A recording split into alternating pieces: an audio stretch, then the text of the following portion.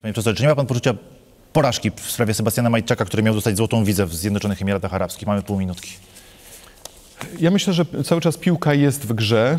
E, Po drugie, nie, nie, nie, nie mamy jeszcze pełnego potwierdzenia, czy faktycznie ten status rezydenta otrzymał. Jestem w stałym dialogu, kontakcie ze Zjednoczonymi Czyli ekstradycja jest jeszcze możliwa. Moim zdaniem tak i w tej sprawie no, i widziałem się osobiście z ambasadorem ZEA w Polsce i tych pism wysłałem y, kilka i naprawdę y, bardzo dużo działań różnych podjęliśmy, kontynuując to, co robił wcześniej minister Ziobro. Profesor Adam Bodnar. Musimy kończyć, panie profesorze. Ale właśnie niestety, miejmy nadzieję, że jednak uda się prędzej czy później ściągnąć pana Majtczaka do Polski.